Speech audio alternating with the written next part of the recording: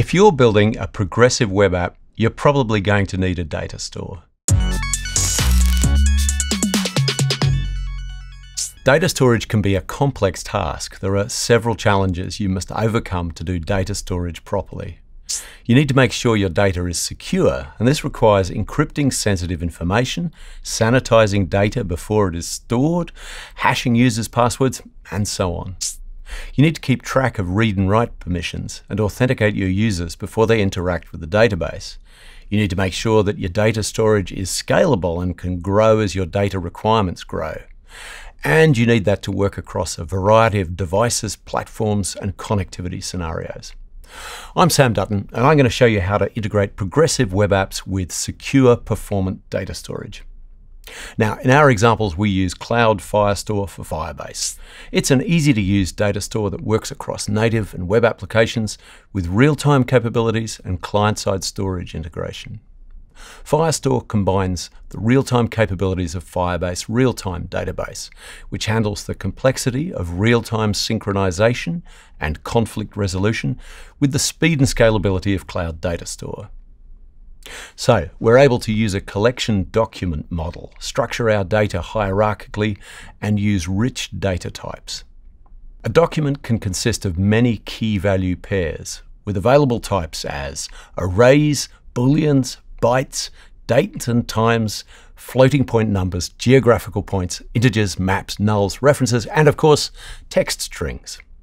A collection is a grouping of documents, and a document can have subcollections.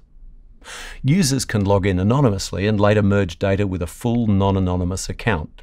Cloud Firestore is simple to use and quick to get started with. You need to create a project on firebase.google.com and enable Firestore.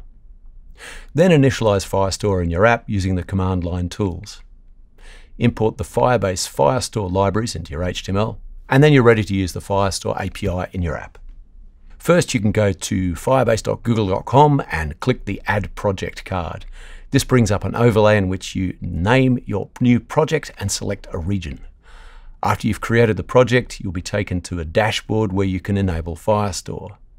Firestore lets you set the initial permissions of the project. Locked mode does not allow read and writes from anyone, whereas test mode allows all reads and writes.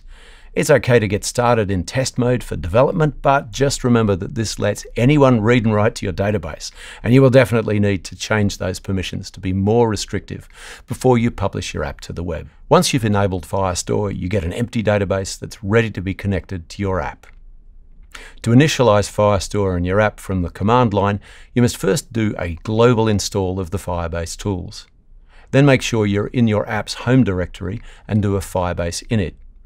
Now, this will bring up several prompts. The first lets you choose which CLI features you want. In this case, we just want Firestore. And the next prompt lets you choose which Firebase project to connect to your app. You can then create a firestore.rules file that contains the database read and write permissions, and the firestore.indexes.json file that lets you index your data. This completes the initialization for your app. Then you just hook up the relevant libraries in your HTML and you're ready to use the Firestore API. Now the Firestore API is really simple. Here's a sample for adding data to our ships collection in the Space Race app.